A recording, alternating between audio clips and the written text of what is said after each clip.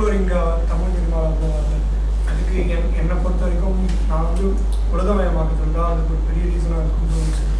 நம்ம நாடகங்களில் நம்ம ஹிஸ்ட்ரி பற்றி பார்த்துட்டு இருந்தோம். பட் ஒன்ஸ் ஃபிலிம் வந்ததுக்கப்புறம் டெக்னிக்கலி நமக்கு அட்வான்ஸ்மெண்ட்ஸ் இருந்துச்சு. கேமரா சவுண்ட் லைட்டிங்ஸ் எல்லாம் பட் கதை அதை எவ்வளோ அஃபெக்ட் பண்ணியிருக்குன்னு உங்களுக்கு தோணும் என்னை என்னைய கேட்டால் ஒரு எம்ஜிஆர் படத்தில் வந்து அவரோட ஆக்ஷன் பண்ணுறது வந்து அந்த டைமில் வந்த ஹாலிவுட் ஃபிலிம்ஸ் ரொம்ப ரிசபிள் பண்ணிட்டு இருந்துச்சு.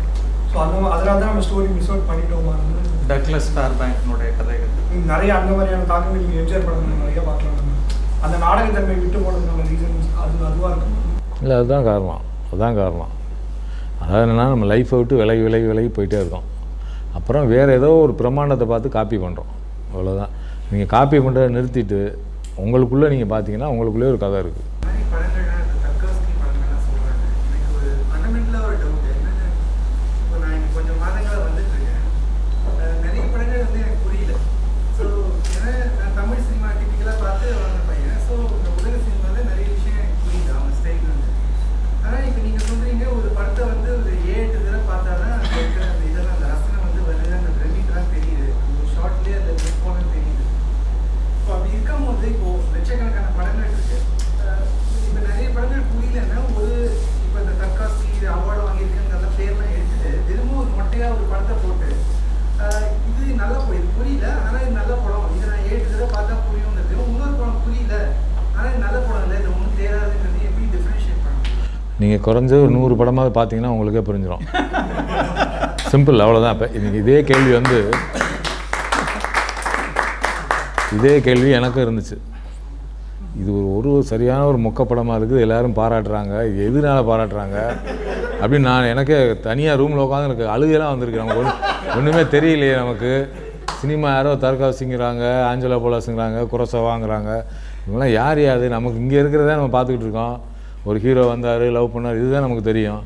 புதுசாக நம்ம சம்மந்தமே இல்லாமல் ஒரு கதையை சொல்கிறாங்க இது நல்லா இருக்குன்னு வேறு சொல்கிறாங்க நமக்கு தெரியலையே அப்படிங்கும்போது இதுதான் இங்கே தான் நீங்கள் கனெக்ட் ஆகுது. நீங்கள் ஒரு லிட்ரேச்சரை படிக்கணும். இப்போ நீங்கள் தார்கோஸ்கி படிக்கணும் அந்த புரியணும் அப்படின்னா சொன்ன மாதிரி செக்காவு உள்ள செக்காவை பற்றி பேசுகிறாங்க செக்காவும் ஒரு ரஷ்யன் ரைட்டர் அவர் எழுதின சிறுகதைகள் ஒரு ரெண்டு கதையாவது நீங்கள் படிச்சிருக்கணும். அது அதில் படத்தில் வர பாக் மியூசிக் நீங்கள் ரெண்டு மியூசிக்காவது நீங்கள் கேட்டிருக்கணும். இந்த டாவின்சியோட பெயிண்டிங் இருக்குன்னா பெயிண்டிங்கை பற்றி நீங்கள் ஒரு நாலஞ்சு பெயிண்டிங்காவது பார்த்துருக்கணும். இதெல்லாம் பார்க்கும்போது அதாவது நூல் அப்படின்னா என்ன சொல்லுவாங்கன்னா அப்படியே ஒன்றை தொட்டு ஒன்றை தொட்டு ஒன்றை தொட்டு போயிட்டே இருக்கும். ஒரு படம் பார்க்குறங்கிறது படத்தை வெறுமனே பார்த்துட்டு இது எனக்கு புரியல அது நல்ல படம் இல்லை அப்படிங்கிறது இல்லை. நீங்கள் தார்கோசி அப்படின்னு போட்டு நீங்கள் படித்து பாருங்கள் கூகுளில் போயிட்டு தார்கோசினா யார்? மிரருங்கிற படம் என்ன சொல்லுது? அப்படின்னு பார்த்தீங்கன்னா கிட்டத்தட்ட நூறு விதமான இன்டர்பிரிட்டேஷன்ஸ் இருக்கும். அதெல்லாம் நீங்கள் படிக்கணும்.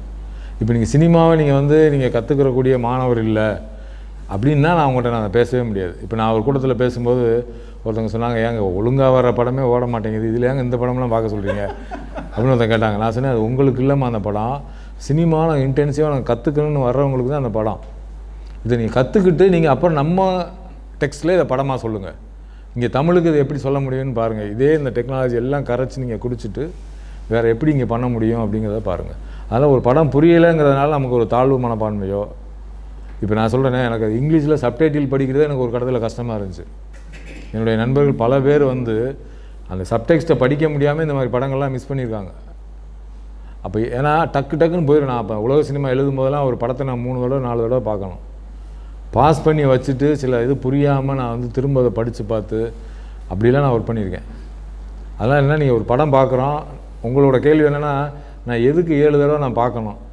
அப்படிங்கிற ஒரு கேள்வி உள்ளுக்குள்ளே இருக்குது நீங்கள் சொல்லும் போதே கிட்டத்தட்ட ஒரு ரெண்டு மூணு வருஷம் நாங்கள் படித்தோம் படிச்சுட்டு ஒரு நாள் அவர் கேட்டார் எனக்கு அடிப்படையாக ஒரு சந்தேகம் இருக்குது அப்படின்னாரு. என்ன? அப்படின்னு. இந்த சரிகம பதனின்னு சொல்கிறீங்களே ஏழுமே ஒரு மாதிரி தாங்க இருக்காது. ஏங்க ஏழுன்னு சொல்கிறீங்கன்னாரு எல்லாம் ஒரே மாதிரி தான். எல்லாம் ஒரே சவுண்டு தாங்க. சாவும் ஒரே மாதிரி தான் இருக்குது ரீயும் ஒரே மாதிரி தான் இருக்குது இது ரெண்டும் எப்படி வித்தியாசம் சொல்றீங்க அப்போ சொன்னார் உங்களுக்கு புரிய வைக்க முடியாது.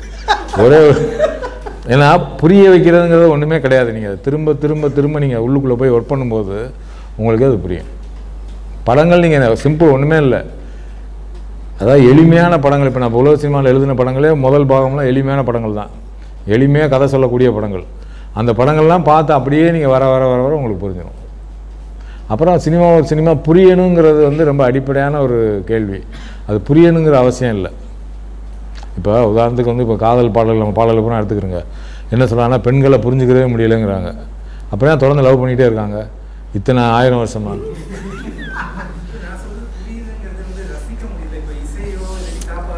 அதை அதைத்தான் சொல்கிறேன் நான் புரியாத புரிய முடியலைன்னா உங்களால் ரசிக்க முடியாது. அது நீங்கள் சொல்ல வர ம். ம். ஆனா அந்த இசையோட என்னால ரிலேட் பண்ண முடியுது அதுவும் எனக்கு ஒன்றும் பேக்ரவுண்ட் கிடையாது. பட் அதை என்னால ரசிக்க முடியுது பட் படத்துல என்ன சொல்றாங்கன்னு எனக்கு புரியல. புரியலன்னா அதை ரசிக்கவும் முடியல. அதை தான் நான் சொல்கிறேன் நீங்கள் மிரருங்கிற படத்தை இப்போ ஒரு வருஷம் நீங்கள் பார்த்துருக்கீங்க. நான் கிட்டத்தட்ட பதினஞ்சு வருஷத்துக்கு முன்னாடி அந்த படத்தை நான் பார்த்துருக்கேன். இப்போவும் எனக்கு அதில் புரியாத பல இடங்கள் இருக்குது நான் ஒரு ஏழு எட்டு தடவை பத்து தடவை பார்த்துருப்பேன் அதை. அதை நீங்கள் அதுதான் சொல்கிறேனே ஒரு ஒரு ஒரு கோட்பாடுன்னு வச்சுங்களேன் சினிமாவில் வந்து ஒரு தியரி இருக்குது இப்போ நீங்கள் ராக்கெட் தியரி வந்து உங்களுக்கு புரியுமானா புரியாது. பத்து தடவை பார்த்தா படித்தாலும் புரியாது. ஆனால் அதை புரிஞ்சுக்கிற முடியுமா முடியாதா? அதை மட்டும் சொல்லுங்கள் நீங்கள் கண்டிப்பாக முடியும். நீங்கள் அதுக்கான ஒரு ஒரு முயற்சி எடுத்து ஒரு ஒரு வருஷமோ ரெண்டு வருஷமோ நீங்கள் ஒர்க் பண்ணிங்கன்னா கண்டிப்பாக புரிஞ்சுக்கிற முடியும். ஆனால் அந்த ஒரு வருஷம் ஒன்று ரெண்டு வருஷம் எதுக்காக நான் செலவழிக்கணும்னு நீங்கள் கேட்டிங்கன்னா அதுக்கு பதில் இல்லை. இந்த படத்தை ஒரு படத்தை புரிஞ்சுக்கிறதுக்காக நான் இத்தனை வருஷம் செலவழிக்கணுமா அப்படின்னா பதில் இல்லை. சினிமாங்கிறது என்னென்னா மிகப்பெரிய ஒரு ஒரு ட்ரெஷர் அதில் இருக்குது நீங்கள் அதுக்குள்ளே கொஞ்சம் கொஞ்சமாக கொஞ்சம் கொஞ்சமாக இப்போ பார்த்துக்கிட்டே இருந்தீங்கன்னா ஒன்றும் இல்லை. உங்களுக்கு பிடிச்ச வேர்ல்டு சினிமா கிளாசிக் நீங்களே செலக்ட் பண்ணி ஒரு நூறு படம் பாருங்கள் புரியவே வேணாம். ஜஸ்ட் அந்த ஒன்றரை மணி நேரம் ரெண்டு மணி நேரம் நீங்கள் பாருங்கள் நூறு படம் பார்த்ததுக்கு பிறகு உங்களுக்கு வந்து அது கேள்வியே இருக்காது. இப்போ நீங்கள் உதாரணத்துக்கு புத்தரை பற்றி ஒன்று சொல்லுவாங்க. புத்தர்கிட்ட வந்து ஒரு சீடர் வந்து வர்றாரு. அந்த அவர் சொல்கிறாரு எனக்கு வந்து வாழ்க்கைனா என்ன மரணம்னா என்ன எனக்கு ஏகப்பட்ட கேள்விகள் இருக்குது அப்படிங்கிறார். அது சொல்கிறாரு இங்கே வா அந்த மரத்தடியில் போய் அமைதியாக உட்காருங்கிறார். எவ்வளோ நேரம் உட்காருங்கிறாரு? ஒரு வருஷம் உட்காருங்கிறார். ஒரு வருஷம் அவர் உட்கார்ந்துருக்காரு அந்த சீடர். இப்போ ஒரு வருஷம் கழித்து புத்தர் வந்துட்டு அந்த அவரை கூப்பிடுங்க அப்படின்னு கூப்பிடுவார். ஏதோ கேள்வி கேட்டி என்ன பண்ண எனக்கு கேள்வியே இல்லை அப்படின்ட்டு உங்களுக்குள்ளே நீங்கள் பார்க்குறதான்னு வச்சுங்களேன் நீங்கள் உங்கள் ப்ராக்டிஸ் பண்ண பண்ண பண்ண உங்களுக்கே தெளிவாயிரும். இது வந்து இன்னொருத்தர் சொல்லிக் கொடுக்கலாம் ஒன்றுமே இல்லை. நீங்கள் செய்ய வேண்டியது ஒரு நூறு படங்களை பொறுமையாக உட்காந்து நீங்கள் பார்க்கணும். அவ்வளோதான்.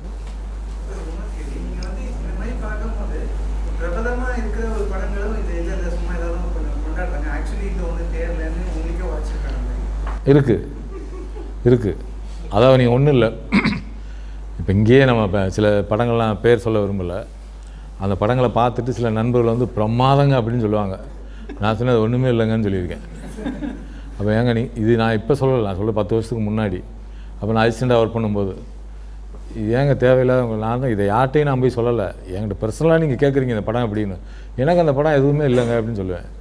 அப்போ என்னென்னா நான் கரெக்டாக தான் சொல்லியிருக்கேன். மனசுக்கு தோணும் இது வந்து சரி சரியில்லைன்னு நீங்கள் படத்தை பார்க்கும்போது இந்த படத்தில் ஒன்றுமே இல்லைன்னு உங்களுக்கு தோணுச்சுன்னா ஒன்றுமே இல்லை தான் ஆனால் அந்த ஒன்றுமே இல்லைன்னு தோன்றதுக்கு முன்னாடி நீங்கள் ஒரு ஃபைவ் இயர்ஸ் டென் இயர்ஸ் நீங்கள் ஒர்க் பண்ணியிருக்கணும் அதில். இப்போ நீங்கள்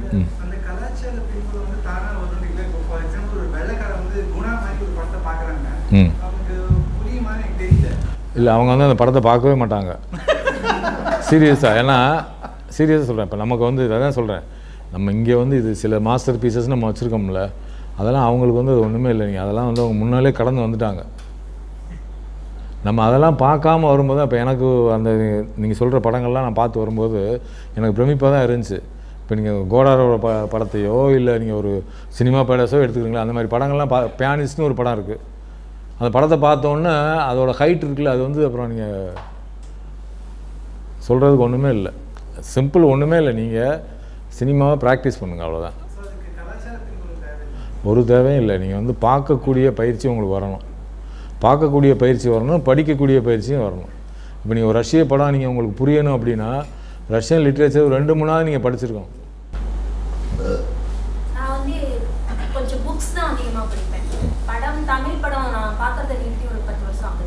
மலையாள படம் பார்ப்பேன். ஏன்னா எனக்கு சவுண்டு பிடிக்காது. மலையாள படம் கொஞ்சம் அமைதியாக போகிறதுனால மலையாள படம் நிதானமாக முப்பது நாற்பது வருஷத்துக்கு முன்னாடி அந்த படங்கள் கூட கவனிச்சு பார்ப்பேன். எனக்கு புக்ஸ் ரொம்ப பிடிக்கும். இப்போ நான் படிச்சிட்டு இருக்கிறது வந்து பாவலோ கொய்ரோலோட ஜகீர். படிச்சிட்டு இருக்கிறத பார்த்துட்டு என்னோட கூட இருக்கிற ஒரு தோழர் சொன்னாரு இது உங்களுக்கு எப்படி பிடிக்கும்னு. இது வந்து அந்த புக் வந்து டைம் டிராவல் இப்போ நம்ம பார்த்த படம் மாதிரி. மு- ஒரு பேராகிராஃப் முப்பது வருஷத்துக்கு முன்னாடி இருக்கும். அடுத்த பேராகிராஃப் ஸ்டில் இருக்கும். அதுக்கு அடுத்த பேராகிராஃப் பன்னெண்டு வருஷத்துக்கு முன்னாடி இருக்கும். அந்த மாதிரி ஒரு டைம் டிராவல் உலகம் புறாமும் டிராவல் பண்ணும். கூடவே இல்லாத ஒருத்தரை பத்தியும் இருக்கும். கூடவே வாழ்றவங்களை பத்தியும் இருக்கும். கண்ணுக்கே தெரியாத ஒருத்தரை பற்றி இருக்கும். அந்த மாதிரி ஒரு நாவல் அது அவர்கிட்ட சொல்லும்போது அவர் தான் சொன்னாரு இந்த படம் நீங்க பார்த்துருக்கீங்க. நான் இந்த பேரையே கேள்விப்பட்டதுல இப்படி ஒரு படம் இருக்கிறதுலாம் தெரியாதுங்க. அவர் தான் அப்புறம் இதை எனக்கு ரெக்கமெண்ட் பண்ணாரு. இன்னைக்கு நான் அதுக்காக தான் வந்தேன். நான் கேட்குற ஜென்ரல் கொஸ்டின் நீங்க இந்த மாதிரியான நல்ல படங்கள் வித்தியாசமான கான்செப்ட் இருக்கிறதெல்லாம் ஒன்லி ஃபார் ஃபிலிம் இன்ஸ்டியூட் ஸ்டூடெண்ட்டுக்கு மட்டும் தெரியுது. எங்களை மாதிரி கொஞ்சம் ஆர்வம் இருக்கிறவங்களுக்கு தெரியறது நாங்கள் இந்த மாதிரி யாராவது ரெஃபர் பண்ணால் மட்டும்தான் வந்து பார்க்க முடியும் நாங்கள் எங்கே போய் தேடினா இந்த மாதிரி வித்தியாசமான கான்செப்டோ இல்லை எங்களுக்கு நெருக்கமான கான்செப்டோ நாங்கள் புரிஞ்சிக்க முடியும் எடுத்து பார்த்துக்க முடியும். இல்லை உலகம் பூரா இருக்குது இப்போ நீங்கள் டோரண்ட்டில் வந்து அவ்வளோ படங்கள் இருக்குது டொரண்ட்ல வந்து வெறும் நேம் மட்டும் இருக்கும். இது டைம் டிராவல் படம் இது இலக்கியம் சார்ந்த படம் இது நீங்க- வந்து இந்த மாதிரி நிகழ்வுகளை மையப்படுத்தி நம்ம இப்போ புத்தகம்லாம் வந்து பார்த்தீங்கன்னா முழுசா படிக்க வேண்டாம். பின்பக்கம் போட்டுருவாங்க. இது இதை பற்றினதான் புக் ஒன்று ஸோ நம்ம அந்த ஒரு பக்கம் மட்டும் படிச்சுட்டு இந்த புக்கோட இவ்வளோ இருக்கும் நம்ம எடுத்து படிச்சுக்கலாங்கிற அந்த உணர்வுக்கோ இல்லை அதுக்கோட நெருக்கமோ நமக்கு கிடைக்கும் போது டொரண்ட்ல வெறும் நேம் தானே. சரி இல்லை ஒன்றும் இல்லை நீங்கள் அதாவது நீங்கள் படங்களை கெடுத்து எடுத்துக்கிறதுக்கு நான் சொல்கிறேன் படங்களை பற்றி படிக்கணும் நீங்கள் விக்கிபீடியாவில் இப்போ ஒரு படத்தை நீங்கள் போட்டாலும் அந்த படத்தை பற்றின எல்லாமே இருக்கே. சினாப்சிஸ் இருக்குது ஸ்டோரி இருக்குது அதை பற்றின சில டிஸ்கஷன்ஸ் இருக்குது இப்போ ராட்டன் டொமேட்டோஸ்னு ஒரு சைட் இருக்குது அதில் போனீங்கன்னா அந்த படத்தை பற்றின எல்லா விமர்சனங்களும் இருக்குது இல்ல, ம்.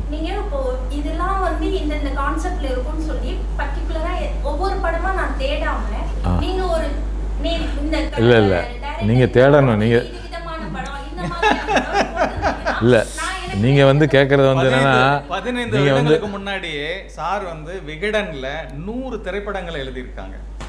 அந்த நூறு திரைப்படங்களுடைய அனுபவங்களை நீங்க கேட்டீங்கன்னா இந்த கேள்வியே கேட்க மாட்டீங்க. ஏன் அப்படின்னா அப்போ வந்து இந்த மாதிரி டாரண்ட் சைட்ஸ் கிடையாது. அப்போ நீங்க பஜார்கள்ல அலையணும். ஒரு திரைப்படத்துக்காக செலியன் சார் வாங்கக்கூடிய இடங்கள்ல தான் பாலு மகேந்திராவும் வாங்கியிருக்காரு நானும் வாங்கியிருக்கேன். நீங்க பஞ்ச் பஞ்சா வந்து வாங்க முடியாது. ஒரு திரைப்பட மேதையினுடைய திரைப்படங்களை அப்படி போனீங்கன்னா அப்படி எடுத்து கொடுக்க மாட்டான். ஏன்னா அவனுக்கே தெரியாது. அப்ப நீங்க என்ன பண்ணுவீங்க? நூறுல இருந்து ஆயிரம் கடைகள்ல நீங்க ஒரு லட்சம் சீடிகளை பரட்டி போடணும். சார் அதை பண்ணியிருக்காரு. நாங்க நிறைய அதான் தேடுறேன். privacy-ஆ பேசுவோம். இதை சபையில வந்து பேச முடியாது. இல்ல. அதாவது நீங்கள் அதான் சொல்லணும் எளிமை புத்தகமாக எழுதியிருக்கோம். அப்போ நீங்கள் கேட்குறது என்னென்னா ஒரு ஃப்ரீ ஹோம் டெலிவரி இப்போ கொடுக்குறாங்கல்ல. எனக்கு வந்து ரொமான்டிக் படங்கள் வேணும். ஒரு நூறு படங்கள் சொல்லுங்கள் அப்படிங்கிறது இருக்குல்ல. அது நீங்களே உங்களோட டேஸ்ட்டுக்கு நீங்களே தேடும்போது அது ஈஸியாக கிடச்சிரும். அப்புறம் இப்போ நீங்கள் சினிமாவை பற்றி தமிழில் இப்போ நிறையா நூல்கள் வந்துருச்சு. உலக சினிமாவை பற்றி உலகத்தில் நடக்கிற சினிமாவை பற்றி எல்லா விஷயங்களும் இப்போ பத்திரிகைகள் வருது. இந்த படச்சுருள்னு ஒரு பத்திரிகை இதழ் ஒன்று வருது. அயல் சினிமான்னு ஒன்று வருது தமிழில். இது எல்லாமே வந்து அப்பப்போ வர்ற சினிமாக்களை பற்றி எழுதுகிறாங்க அப்புறம் சினிமா சார்ந்தே நிறையா வந்து இப்போ நான் எழுதின உலக சினிமா இருக்குது இது மாதிரி நண்பர்கள் எழுதின பல புத்தகங்கள் இருக்குது அப்புறம் நீங்கள் ஒன்றும் இல்லை ஒரு படம் இப்போ நீங்கள் இப்போ என்னோட உலக சினிமா நீங்கள் பார்த்தீங்கன்னா ஒரு டைரக்டரோட பேர் இருக்குது அவர் எடுத்த முப்பது படங்களும் அதில் இருக்குது நீங்கள் ஏதாவது ஒரு படம் உங்களுக்கு பிடிச்சிருக்குன்னா அதை நீங்கள் செலக்ட் பண்ணி விக்கிபீடியாவில் போனீங்கன்னா அந்த படத்தை பற்றி ஃபுல் டீட்டெயில் இதில் இருக்குது ம். அப்புறம் நீங்கள் நீங்கள் கூகுளில் போயிட்டு world best romantic movies world best political மூவிஸ்னு அடிச்சிங்கன்னா அது ஒரு நூறு படம் வரும். இருக்குது ம். நீங்க ஈஸ்தட்டிக்கலா ஆர்டிஸ்டிக்கலா ரெஃபரன்ஸ் வேணும் ரெக்கமெண்டேஷன்ஸ் வேணும்னு எதிர்பார்க்குறீங்க. உங்களோட டேஸ்ட் என்னங்கிறது நீங்க வெளியில சொன்னீங்கன்னா தான். கனெக்டிவிட்டியே தெரியும். யாருக்கு அந்த மாதிரியான டேஸ்ட் இருக்கு? இப்போ சார் சொன்னாங்க Theodoros Angelopoulos is a Greece film maker இப்போ நம்ம அவருடைய திரைப்படங்களை தேடி திரையிட்டோம்னா ஒரு blank தான் இருக்கும். இப்படி தான் இருக்கும். பொய்டிக்கல் எபிலிட்டி இல்லாமல் அதை இன்டர்பிரிட்டே பண்ண முடியாது. இப்போ இதுலயே நம்ம பார்த்தோம்னா என்னுடைய திரைப்படங்கள்ல மெட்டஃபரிகள் தான் இருக்கு. நான் ரொம்ப பெரிய பொய்டிக்கல் ஃபில்ம் மேக்கரே இல்லைன்னு சொல்கிறார் ஆனால் பொய்டிக்கல் இமேஜஸ் இதில் எவ்வளோ இருக்குது நீங்கள் யோசிச்சு பாருங்க. சாரே குறிப்பிட்டாங்க ஒரு மூன்று இடங்களில். அந்த ஜன்னலை உடைச்சிட்டு ஒரு பறவை வந்து தெரிச்சு வெளியில் வரும். நீங்கள் யோசிச்சு பாருங்க பால் சுட்டுகிற ஒரு இடம் இருக்குது யா? அதான் நம்ம கிரியேட்டே பண்ண முடியாது. இப்போ நான் வந்து கிரியேட் பண்ணால் கூட நான் பண்ணி பார்த்துருக்கேன். சில ஷார்ட்லாம் அதே மாதிரி தனியாக எடுத்து பார்த்துருக்கேன். ஏதோ ஒன்று மிஸ் ஆகுது. இப்போ ஆதிமூலம் பெயிண்டிங் நான் சொன்னேன்ல அது மாதிரி தான்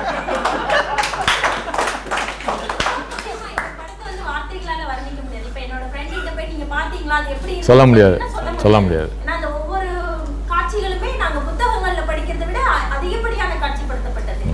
இன்னும் ஒன்றும் இல்லை. இப்போ நீங்கள் மிரருங்கிற படத்தையே நீங்கள் ஒரு எக்ஸசைஸாக எடுத்துக்கோங்க.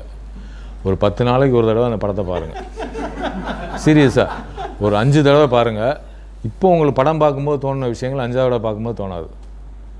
ம். நீங்கள் ஒரு இதே ஒரு நாவலாக இருந்தாலும் சரி ஒரு பொயட்ரியாக இருந்தாலும் சரி முதல் தடவை படிக்கும்போது நம்ம நிறையா மிஸ் பண்ணி மிஸ் பண்ணிடுவோம் அடுத்த தடவை படிக்கும்போது வேறு ஒன்று கிடைக்குது அதான். சாரோட டர்கோவ்ஸ்கியினுடைய பயோகிராஃபி தான் இந்த படம் ஆக்சுவலி இப்போ அது வந்து பார்த்தீங்கன்னா மூன்று வார் பின்னணியில் நடக்கும் ஆக்சுவலி அந்த சோசியல் சப்ரஷன் எந்த மாதிரி இருந்தது? ஃபேமிலி அதை எப்படி பாதிச்சது? ரிலேஷன்ஷிப்பை எப்படி வந்து டிஸ்இன்டகிரேட் பண்ணுச்சுங்கிற அளவுக்கு அது இருக்கும் ஆக்சுவலி சொல்லப்போனால் அலெக்சிங்கிற ஒரு பர்சன் டெத் பெட்டில் இருக்கும்போது தாயா தாரமாங்கிற ஒரு விவாதம் மனதுக்குள்ள கான்ஃபரன்டேஷன் இருந்துகிட்டே இருக்கும் படம் முழுவதும். ஸோ பேக் அண்ட் ஃபோர்த் அவர் போயிட்டு வந்துட்டே இருப்பார். ஆனால் அது மட்டும் இல்லை. இது மெட்டஃபரிக்கல் அண்டர்ஸ்டாண்டிங் தான். ஒரு நேரேஷன் ஒரு ஃபிக்ஷன் அளவுக்கு தான் நம்ம இப்படி பார்ப்போம். ஆனால் இதையே நீங்கள் வேற வேறு தலங்களுக்கு எடுத்துகிட்டு போகலாம் அப்படி போகும்போது பொய்டிக்கல் இன்டர்பிரிட்டேஷன்ஸ் இருக்கணும். அந்த எபிலிட்டி இருந்தால் தான் டைமை எப்படி இது டிரான்சென்ட் பண்ணுது? டைமை இவர் எப்படி கேப்சர் பண்ணுறாரு அல்லது ஒரு சிம்பாலிக்கல் லெவலில் இமேஜஸ் எப்படி ஃபங்க்ஷன் ஆகுதுங்கிறத நம்ம பார்க்க முடியும். இன்னொரு விஷயம் பார்த்தீங்கன்னா இந்த படம் எடுக்கப்பட்டது ஐம்பதுகளில் நினைக்கிறேன். ஐம்பது? ஆமா- ஆமா சார் செவன்டி செவன்டி செவன்டிஸ் ஆமாம் செவன்ட்டீஸ் ஆமாம் செவன்ட்டீஸ் மாதிரி நினைக்கிறேன். அப்போ நீங்கள் ரஷ்யாவில் நினச்சி பாருங்கள் அப்போவே இந்த மாதிரியான ஒரு படத்தை எடுக்கக்கூடிய அளவுக்கு சினிமா லாங்குவேஜில் உங்களுக்கு ஒரு ப்ராக்டிஸ் இருந்திருக்கு. இப்போ நமக்கு இத்தனை வருஷத்துக்கு பிறகும் நம்ம அந்த படத்தை புரிஞ்சுக்கிறதுக்கான சிரமத்தில் தான் நம்மளோட ஃபிலிம் கல்ச்சர் இருக்குது அதுதான் நான் பார்க்குறேன். ஏன்னா இப்போ அந்த படத்தை அங்கே இருக்கிற ஒரு ரஷ்யாவில் இருக்கக்கூடிய ஒரு பையன் வந்து கண்டிப்பாக அவனோட பத்து வயசில் கண்டிப்பாக பார்த்துருப்பான். இப்போ நான் ஒரு ஷூட்டிங்கில் வந்து ஒரு ப ரஷ்யன்லேருந்து ஒரு நாலஞ்சு பேர் வந்திருந்தாங்க. ஒரு பையன் சின்ன பையன். அவனுக்கு பன்னெண்டு வயசு இருக்கும். அவன் கையில் வந்து வாரன் பீஸ் வச்சுருக்கான். டால்ஸ்டாயோட புத்தகம். அவனுக்கு உனக்கு எத்தனை வயசுலாம்? கேட்டேன். பன்னெண்டு வயசுங்கிறாங்க பன்னெண்டு வயசில் அந்த புத்தகத்தை படித்தான்னா பன்னெண்டு வயசில் மிரர் பார்த்தான்னா அவனோட இன்டெலிஜென்ஸ் எந்த அளவில் இருக்கும்?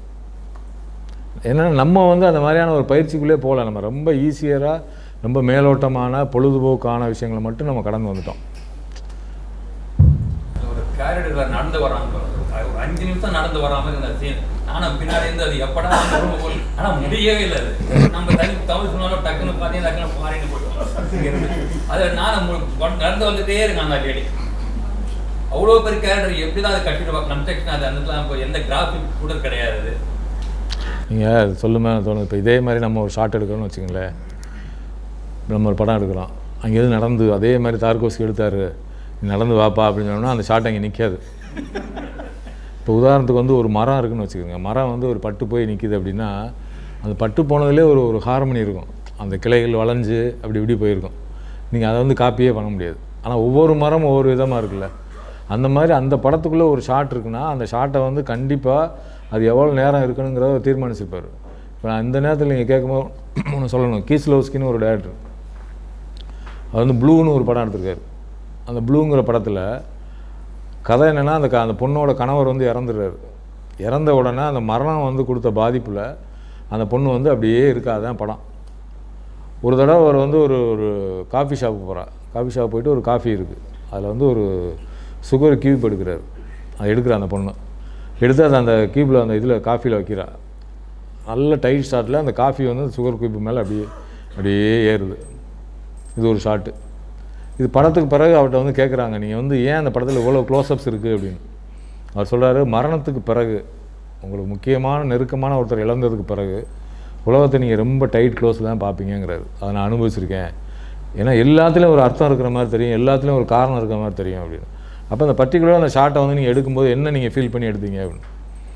சொல்கிறாரு அதில் வந்து அந்த அப்படி அது ஒரு ஒரு உயிர் இயக்கம் மாதிரி அந்த இதுவும் ஒரு ஒரு உயிர் இல்லை அதுவும் ஒரு உயிர் இல்லை ஆனால் அப்படி ஏறி அப்படி சின்ன அப்படி மேலே போகிறது வந்து ஏதோ ஒன்று ஃபீல் பண்ணுறா அப்படின்னு.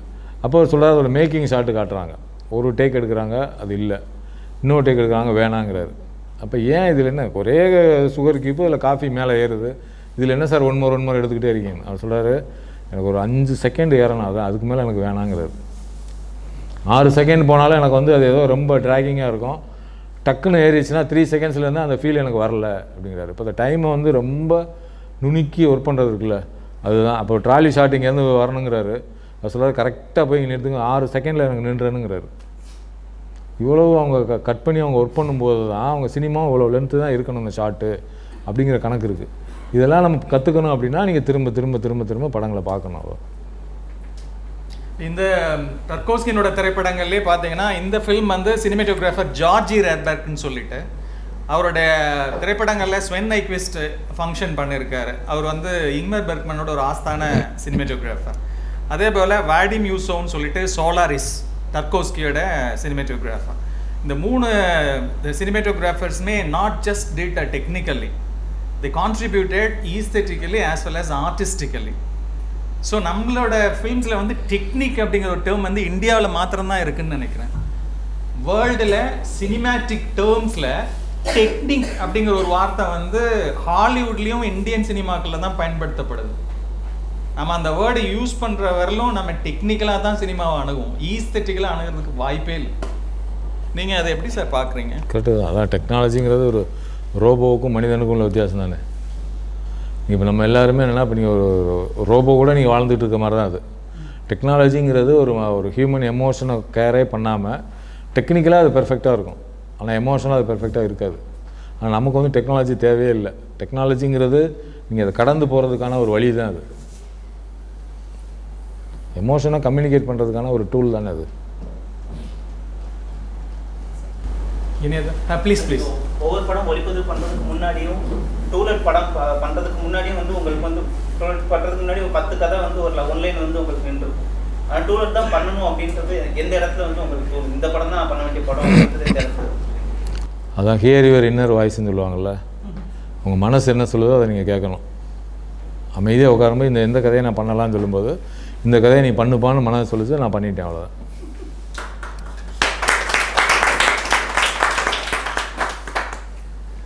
பால்மேந்திர சார் இன்சைட் அவுட்னு சொல்லுவார் அதை. உள்ளே இருந்த உங்களுக்குள்ள ம அழுந்திட்டு இருக்கக்கூடிய அல்லது உங்களுடைய உள்ளுணர்வு எதை உங்களை வந்து இன்சிஸ்ட் பண்ணுதோ அதை செயல்படுத்துங்க அப்படின்னு சொல்லி சொல்லுவார். ஸோ சாரும் அதுதான் ஹைலைட் ஆமாம் அது ஒரு ரொம்ப பிரபலமான கோட் ஒன்று இருக்குது என்னென்னா உங்களுக்கு சந்தேகம் வரும்போது உங்கள் இதயம் சொல்வதை கேளுங்கள் அப்படின்னு. உங்களுக்கு குழப்பம் வரும்போது நீங்கள் அமைதியாக உட்காந்திங்கன்னா உங்கள் மைண்டு சொல்லும் இதை செய்ய இதை செய்யாதன்னு. அதை நம்ம ஜஸ்ட் கேட்டோம்னா நம்ம போதும்.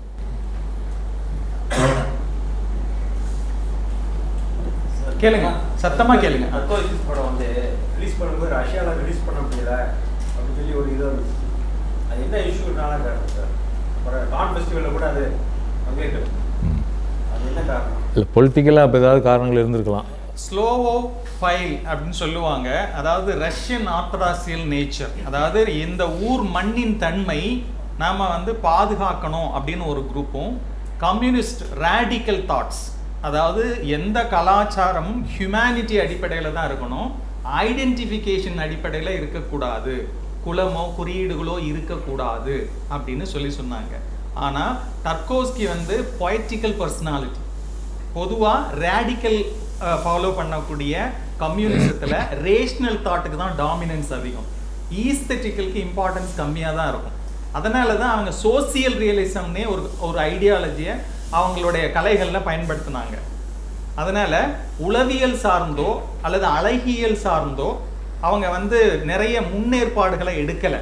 இப்போ இதுலேயே வந்து புஷ்கின்க்கு புஷ்கின் வந்து ஒரு கடிதம் சாடையாவ் அப்படின்னு சொல்லிட்டு ஒரு பர்சனுக்கு வந்து எழுதுனதா இதில் இருக்கும் ஆக்சுவலி அந்த சாடையாவ் தான் ஃபர்ஸ்ட் ஃபஸ்ட்டு ரஷ்யன் கலாச்சாரத்தை ரொம்ப ஸ்ட்ராங்காக கிரிட்டிசைஸ் பண்ணுறாரு நம்மளுடைய கலாச்சாரங்கள் ரொம்ப தேங்கி போயிருக்கு ரஷ்யன் கல்ச்சா கல்ச்சர் நம்ம வேர்ல்டோட கனெக்டிவிட்டியில் இல்லை. அதனால் நம்ம வேர்ல்டோட கனெக்டிவிட்டி இருக்கணும்னா ஆர்டிஸ்டிக்கல் எவால்வ் ரொம்ப முக்கியம்னு குறிப்பிடுறார். ஸோ இதில் டப்கோஸ்கி வந்து ரஷ்யன் கவர்மெண்ட்டை நேரடியாக அரசாங்கத்தை கிரிட்டிசைஸ் பண்ணார். அந்த ஸ்டேட்மெண்ட்காகவே இந்த ஃபில்ம் வந்து தடை செய்யப்பட்டது. அவருடைய திரைப்படங்கள் எல்லாமே அவரை நாடு கடத்துனாங்க ஆக்சுவலி அவர் இட்டாலியில் போய் ரெண்டு ஃபில்ம் பண்ணார். கடைசியில் இறந்து போகும்போது கூட பாரிஸில் தான் அவர் இறந்து போனார். அப்போ என்னன்னா ஆர்டிஸ்டிக்கல் வாய்ஸ்னோட சப்ரஷன் அங்கே அதிகமாக இருந்தது. இதுக்கு முன்னாடி சர்ஜி பரஜனோவ்னு சொல்லிட்டு அவரும் டிஜிஐகே ஃபிலிம் ஸ்கூல் இந்த ஃபிலிம் ஸ்கூல் வந்து ஒண்டர்ஃபுல் ஃபிலிம் ஸ்கூல் இல்லைங்களா சார்? கலர் ஆஃப் போமோகிரானேட்ஸ் எல்லாம் பண்ணாரு. எஸ் செர்ஜி பரஜனோ வந்து கலர் ஆஃப் போம்கிரனேட்ஸ் நம்ம இங்கே பால்மேந்திரா ஃபிலிம் சொசைட்டிலே திரையிட்டு இருக்கோம். அவரை வந்து குறிப்பிடுவார் டர்கோஸ்கி என்னை விட பத்து வயது இளையவர். ஆனா he is the one only one who made the film as a poetry. அதை டர்கோஸ்கி குறிப்பிட்ட படம் த கலர் ஆஃப் போம்கரனேட்ஸ் போமக்கரனேட்ஸ் அது வந்து ரொம்ப பொய்டிக்கலில் தான் இருக்கும் ஆக்சுவலி சொல்ல போனால் அப்போது பொய்டிக்கல் பேரடாக்சிக்கல் அளவுக்கு இருந்த அந்த தன்மைகளை இருந்ததுனாலேயே அவரும் பரஜனவும் நாடு கடத்தப்பட்டார். ஸோ இந்த இரண்டு பேருமே அங்கே வந்து நாடு கடத்தப்பட்டாங்க. அப்போ ஒரு ஆர்டிஸ்டிக்கல் வாய்ஸை சப்ரஸ் பண்ணுறதுக்கான தன்மை இருந்தது பாலிட்டிக்கல் ப்ரொபகண்டால அதனால் அவங்க நேரடியாக முரண்பட்டாங்க அதனால் நாடு கடத்தப்பட்டாங்க. ஆ. இதுல கடைசியில டர்கோஸ்கி கேமியோ பண்ணியிருக்கார். இந்த கடைசி டெத் பெட்டில் இருக்கக்கூடிய பர்சன் வந்து டர்கோஸ்கி தான். கடைசியாக டெத் பெட்டில் இருக்கக்கூடிய பர்சன் வந்து டிரெக்டர் ஹிம்செல்ஃப் நாற்பத்தி நாலு வயதில் அவருக்கு பெரிய மேசிவ் ஹார்ட் அட்டாக் ஐம்பத்தி நாலு வயதில் வந்து அவர் இறந்து போயிட்டார். அதுக்கு காரணம் வந்து ரஷ்யன் கேஜிபி அப்படிங்கிற ஒரு அங்கே ஒரு உளவு பிரிவு வந்து அவருக்கு பாய்சன் வச்சு கொண்டுட்டதா இன்னி வரையிலும் ஒரு ரூமர் இருக்கு. ஆனால் அவர் வந்து கெமிக்கல் பிளான்ட்ல தன்னுடைய படங்களை ஷூட் பண்ணதுனால அவரும் அவருடைய முதல் மனைவியும் அவருடைய ஆஸ்தான ஸ்டாக்கர்னுடைய லீடு சோலின்சின் நினைக்கிறேன் அவங்க மூணு பேரும் இந்த கேன்சரில் இறந்து போனாங்க. ஸோ மரணம் வந்து அதிகமாக அவரை ஆட்கொண்டு இருந்தது ஸோ காலமும் கவிதையும் அவருக்கு சிறு வயதுலேருந்தே அறிமுகம். இது அவர் தகப்பனாரை பற்றிய பதிவு தான் ஆக்சுவலி ஆர்சினி டர்கோவ்ஸ்கி அப்படின்னு சொல்லி ஆண்டி டர்கோஸினுடைய தகப்பனாரை பற்றிய பதிவு தான் இந்த திரைப்படம். ஏன்னா சிறு வயதில் அவருக்கும் அதாவது டர்கோஸ்கினோட தகப்பனாருக்கும் டர்கோஸ்கினுடைய அம்மைக்கும் வந்து பிரிவு இருந்தது. மனவிளக்கம் இருந்தது. அதை தான் இதில் பதிவு பண்ணியிருக்காங்க. இதில் ஆக்ட் பண்ணதில் வந்து அவங்க மதரே ஆக்ட் பண்ணியிருக்காங்க. கடைசியாக ரெண்டு குழந்தைகளை கூட்டிகிட்டு போகிறாங்கல்ல அந்த முதிய பருவ நட்டாலியா அவங்க வந்து டர்கோஸ்கியோட ரியல் மதர் ஸோ இது அவங்களுடைய உண்மையான ஒரு டைரியும் கூட. So it's it's look like reflexive இந்த படம் வந்து confession a white comma white day அப்படிங்கிறதான் தலைப்பு. இந்த படத்தை பத்து பதினோரு வருஷமா எழுதிட்டு இருந்தார். இந்த படம் கன்சீவே ஆகலை. அவருடைய பால்யத்தில் நடந்த பெரிய வழி. இப்போ நீங்கள் வீடு படத்தை பற்றி கேட்டீங்க இல்லையா? பாலுமகேந்திராவுக்கு அவருடைய அம்மை வீடு கட்டினும் பொழுது நடந்த மன உளைச்சல்கள் வந்து பெரிய பாரமா இருந்ததுன்னு சொல்கிறார் கலகலப்பாக இருக்கக்கூடிய தாய்மை எப்படி இவ்வளோ சஃபரிங் போச்சு அப்படின்னு வினவுகிற தன்மையில் தான் அந்த வீடு படம் பிறந்தது. அதே போல தான் சேம் மாஸ்கோவிலிருந்து இடம்பெயர்கிற ஒரு பிரிண்டிங் ஆஃப்செட்டில் வேலை பார்த்த ஒரு பெண்மணியினுடைய மனநிலைகளை நுட்பமாக பார்க்குறார். ஸோ மூன்று வருட காலங்கள் அவர் தகப்பனார் அவங்க குடும்பத்தை விட்டு வெளியேறி இவங்களை தனிமையில் தவிக்க விட்டு போன வழிகளை பதிவு பண்ணுறாரு இதில். பெண்மையினுடைய பல குணங்களை இதில் பதிவு பண்ணுறாரு ஆக்சுவலி அவங்க தலையை முடியை விரித்து போட்டு டப்பில் அவங்க வாஷ் பண்ணுறதா இருக்கட்டும். அதே போல் அவங்களுடைய அந்த இயர் ரிங்கை வந்து அடகு வைக்க போகிற இடமா இருக்கட்டும். ஒரு பெண்ணினுடைய அக உணர்வுகளை அகத்தத்திப்பு தத்தளிப்புகளை நிறைய இடங்களில் வந்து பதிவு பண்ணுறார் அது எல்லாமே ரொம்ப க்ளோஸராக அவங்க அம்மாவை அப்சர்வ் பண்ணிகிட்டே இருந்ததுனால தான் ஸோ இது ஒரு வகையில் டர்கோஸ்கியினுடைய பயோகிராஃபி தான். அவருடைய அப்பா அவங்க குடும்பத்தை பற்றிய பதிவு தான் வேறு வேற எதுவும் கேள்விகள் கேட்டுனா நீங்கள் சார் என் பேர் அரவிந்த். நான் ஆக்டிங் ட்ரை பண்ணிட்டு இருக்கேன் சார் ஆக்சுவலாக நான் வந்து நானும் என் ஃப்ரெண்ட்ஸ் எல்லாரும் கூட ஒரு டீம் இருக்கும் ஆக்சுவலாக அவங்களாம் பார்த்தீங்கன்னா வாய்ப்பு தேடி அலைஞ்சிக்கிட்டே இருந்தோம். எந்த வாய்ப்பும் கிடைக்கல. ஸோ நாங்களாம் சேர்ந்து வந்து ஒரு யூடியூப் சேனல் ஆரம்பித்தோம் sir. YouTube channel Facebook page அது பேர் வந்து மிஸ்டு மூவிஸ்ன்ட்டு அது வந்து பார்த்தீங்கன்னா ஃபுல்லாகவே வந்து old cinema art films parallel films அது ரிலேட்டடாகவே நம்ம பண்ணோம். அந்த கமர்ஷியல் எதுவுமே எங்களுக்கு தேவையில்லை. எலிமெண்ட்டே வேணாம் எங்களுக்கு. இந்த தமிழ் சினிமாவில் வந்து எல்லாமே பார்த்தா ஃபுல்லாக கமர்ஷியலாகவே வந்துட்டு இருக்கு ஸோ அதை நான் மாற்றணும் அப்படின்ட்டு நாங்கள் அதை பேஸ் பண்ணி நாங்கள் ஆரம்பித்தோம் சார் சரி ஓகே ஷார்ட் ஃபிலிம் ஒரு மூணு நாள் பண்ணிட்டோம். சார் அடுத்த கட்டம் போகலாம் அப்படின்ட்டு ஒரு ப்ரொடியூசர் தேட நாங்கள் ஆரம்பித்தோம் சார் அவங்கள்ட்ட போய் சொல்லும் போது பார்த்தீங்கன்னா நீங்கள் கொஞ்சம் அதுலேயே வந்து வேர்ல்டு சினிமா நாலேஜ் ரொம்ப கம்மியாக எனக்கு தான் சார் மற்ற எல்லாருக்கும் பார்த்தீங்கன்னா நிறைய நாலேஜ் அதில் இருக்குது ஸோ நான் அதை கற்றுக்கிட்டு இருக்கேன் நினைப்போம் ஸோ நாங்கள் நெக்ஸ்ட் லெவல் போகலாம் அப்படின்ட்டு ப்ரொடியூசர் ஒருத்தர் தேடி போனோம். அப்போ அவங்களாம் பார்த்தீங்கன்னா கமர்ஷியலாக பண்ணுங்க அந்த கதையை. ஏன் நீங்கள் இப்படி போகிறீங்க நல்லா இருக்குது ஸ்டோரி ஸ்டோரி நல்லா இருக்குது ஏன் இது இப்படி பண்ணுறீங்க நீங்கள் இன்னும் நல்லா கமர்ஷியல் நல்லா ஆட் பண்ணிக்கோங்க அப்படின்னா. ஸோ வந்து நாங்கள் என்ன முடிவு பண்ணால் நாங்களே பண்ணலாம் அப்படின்னு ஒரு பிளான் இது பண்ணோம் சார் இதில் என்ன எங்களுக்கு என்ன ஒரு இதுனா எவ்வளோ பட்ஜெட்டில் ஃபஸ்ட்டு பண்ணலாம் சார் இந்த படத்தை? எவ்வளோ பணம் உங்கள்கிட்ட இருக்குது எவ்வளோ பணம் இருக்கோ அவ்வளோ பணத்தில் பண்ணிடுங்க அவ்வளோ ஷேர் பண்ணி இவ்வளோ ஒரு அப்ராக்சிமேட்டாக ஒரு அதான் இப்போ ஒன்றும் இல்லை. இப்போ நீங்கள் ஒரு வீடு கட்ட போகிறீங்க எவ்வளோ பட்ஜெட்டில் வீடு கட்டலாம் அப்படின்னா நீங்கள் நூறு கோடியில் கூட கட்டலாம். உங்களோட தேவை என்ன? எத்தனை ரூம் உங்களுக்கு வேணும்? உங்களோட தேவை என்னங்கிறத பொறுத்து தான் அது. உங்கள்கிட்ட எவ்வளோ பணம் இருக்கோ அந்த பணத்துக்கு நீங்கள் பணம் எடுக்கணும். பண்ணிடலாம். ஆமாம்